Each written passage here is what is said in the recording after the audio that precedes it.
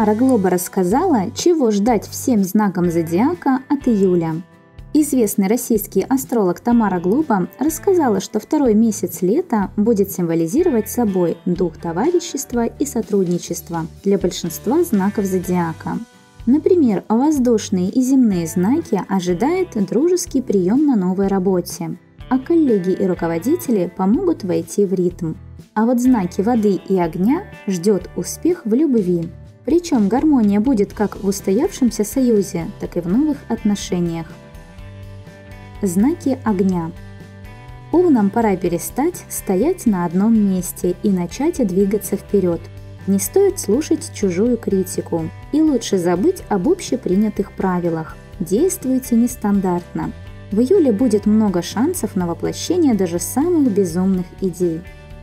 Для львов пришло время начать решать проблемы и перестать откладывать все на потом. На это хватит и времени, и сил. Если на работе все дела выполнены, стоит обратить внимание на быт. Июль для стрельцов станет лучшим периодом для продуктивной работы.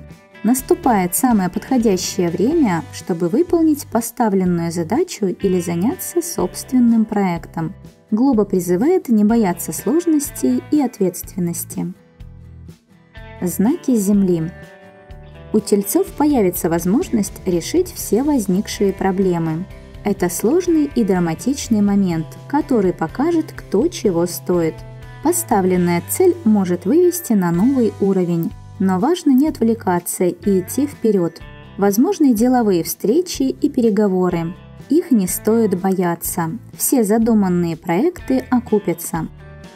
Девам нужно трудиться со смыслом.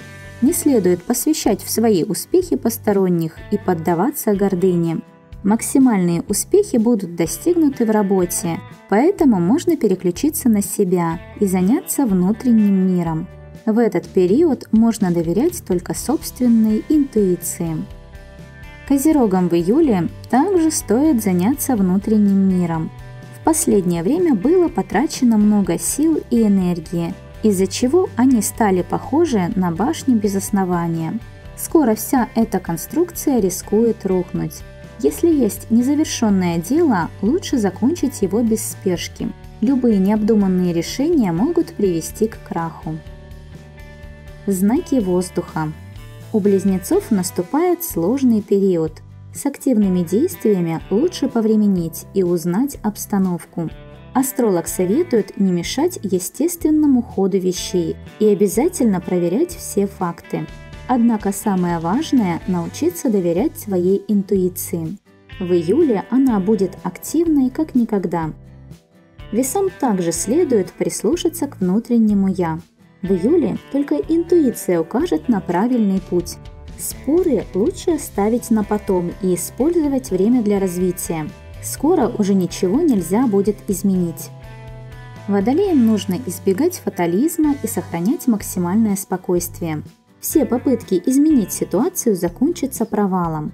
В июле будет много неприятных ситуаций, но все они временные и имеют скрытый смысл. Время активных действий придет позже. Сейчас лучше плыть по течению. Знаки воды. Раков в июле ждут новые знакомства, встречи с интересными людьми и путешествия. Это лучшее время для творческих занятий. Вам лучше выплеснуть все негативные эмоции, которые успели скопиться к этому времени. Скорпионам следует, наконец, начать реализовывать свой собственный проект. Страх новизны скоро пройдет, а грядущее дело перевернет всю жизнь. Упущенный момент грозит большими сожалениями. Рыбам в июле нужно быть максимально собранными и объективными. Назрела некая конфликтная ситуация, но лучше сохранять спокойствие и трезвость ума. В этот период судьба покажет события, которые появились благодаря прежним решениям. Астролог советует извлечь уроки и сделать соответствующие выводы. Напишите в комментариях, кто вы по знаку зодиака. Понравилось вам это видео? Не забудьте поставить лайк и подписаться на канал, чтобы не пропустить новые интересные гороскопы. Вы были на канале Мартиника. До встречи в новых видео.